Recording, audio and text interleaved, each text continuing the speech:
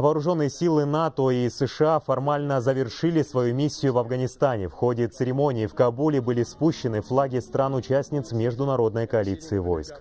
С нового года Альянс займется лишь поддержкой и подготовкой афганских сил безопасности.